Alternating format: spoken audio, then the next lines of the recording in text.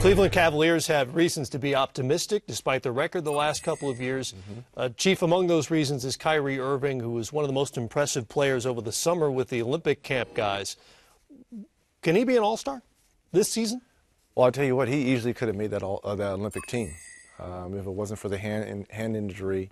Uh, and I look for him to be on the Olympic team uh, in Brazil.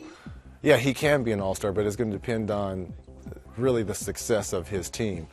Um, right now he's one of the top 10, 15 point guards in the league.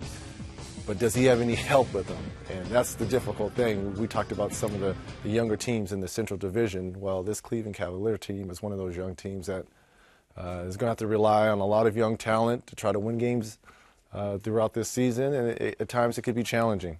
What kind of style can Byron Scott implement to best utilize Irving's talent and the pieces around it?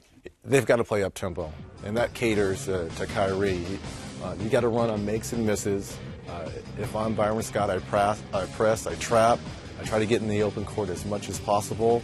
Uh, they drafted Dion Waiters, who was in a similar style at Syracuse. They put a lot of zone, but they, they like to get up and down.